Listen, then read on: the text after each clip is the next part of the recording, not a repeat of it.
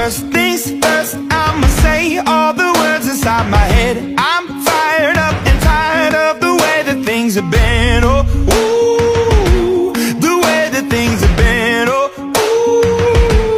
ooh. Yo, good afternoon, ladies and gentlemen. My name is Evan. Welcome to my channel. Today, I'm going to do something on uh, what has actually been bringing a challenge to so many, and especially those who have been out of the country for a while. You go outside in other countries, you stay there for a while. When you come back, most of the time you end up forgetting uh, on the several necessary USSD codes that would actually help you uh, get some uh, services from your popular, or do I say, uh, different service providers in Kenya.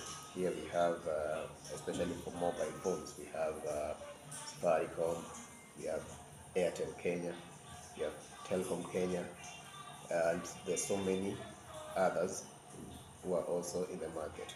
Now, uh, for Safaricom users, uh, like recently I had a group of uh, people who came in from the United Kingdom and uh, since they did not have the Safaricom application, it was very difficult for them to access Safaricom services.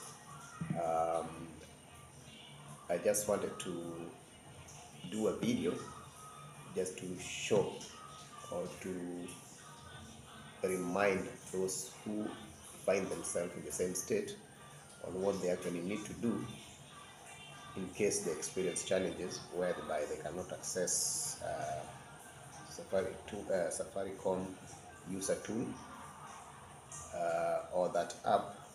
They can just use dial the code for it to be able to bring them the menu, but the necessary uh, the necessary menu when, where they use to make several transactions with. So here we go.